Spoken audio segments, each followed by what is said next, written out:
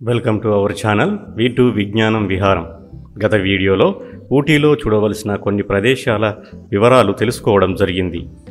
మీరు గనక ఆ వీడియో చూడనట్లయితే వీడియో లింక్ డిస్క్రిప్షన్లో ఇస్తాను తప్పకుండా చూడండి. ఈ వీడియోలో ఊటీలోని మరికొన్ని టూరిస్ట్ ప్లేసెస్ గురించి తెలుసుకుందాం. వీడియోను మాత్రం స్కిప్ చేయకుండా చివరి వరకు చూడండి.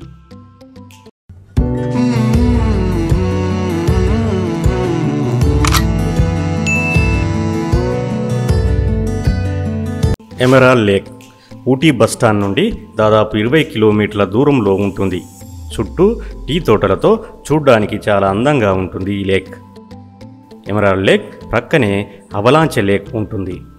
అవలాంచె లేక్ ఊటీ బస్టాండ్ నుండి దాదాపు ఇరవై మూడు కిలోమీటర్ల దూరంలో ఉంటుంది.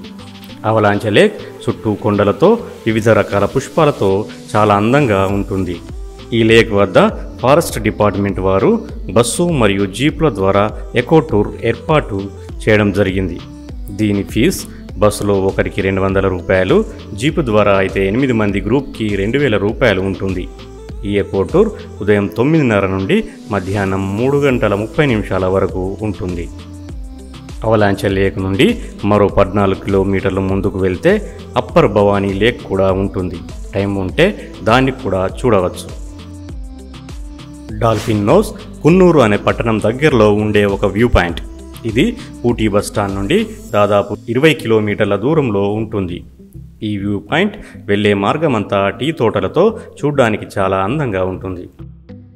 సిమ్స్ పార్క్ డాల్ఫిన్ నోజ్ నుండి ఒక కిలోమీటర్ దూరంలో ఉంటుంది. ఈ పార్క్ దాదాపు పన్నెండు హెక్టార్ల విస్తీర్ణంలో ఉంది. ఇందులో ఒక చిన్న లేక్ ఉండి బోటింగ్ ఫెసిలిటీ కూడా అందుబాటులో ఉంది. ల్యాంప్స్ ర్యాక్ సిమ్స్ పార్క్ నుండి దాదాపు ఆరు కిలోమీటర్ల దూరంలో ఉంటుంది. ఈ ప్రాంతం చేరుకోవడానికి దాదాపు హాఫ్ కిలోమీటర్ ట్రెక్కింగ్ చేయవలసి ఉంటుంది. ఇది ఒక వ్యూ పాయింట్. ఇక్కడి నుండి పచ్చటి టీ తోటలు కొండలను మనం చూడవచ్చు. ఇక్కడి నుండి మూడు కిలోమీటర్ల దూరంలో లేడీ క్యానింగ్స్ సీట్ కార్నర్ అనే ప్రాంతం కూడా ఉంటుంది. ఇది కూడా ఒక tourist spot. Needle rock view point Ooty bus stand నుండి దాదాపు నలభై కిలోమీటర్ల దూరంలో మైసూర్ హైవేలో ఉంటుంది. ఈ పాయింట్కి చేరుకోవడానికి కూడా హాఫ్ కిలోమీటర్ ట్రెక్కింగ్ చేయవలసి ఉంటుంది. ఇక్కడ నుండి మనం త్రీ సిక్స్టీ డిగ్రీస్ వ్యూని ఎంజాయ్ చేయవచ్చు. Saint Stephen's church Ooty bus stand నుండి దాదాపు రెండు కిలోమీటర్ల దూరంలో ఉంటుంది. దీనిని పంతొమ్మిదవ శతాబ్దంలో నిర్మించారు. ఈ చర్చిలోని ఆర్కిటెక్చర్ చాలా అందంగా ఉంటుంది.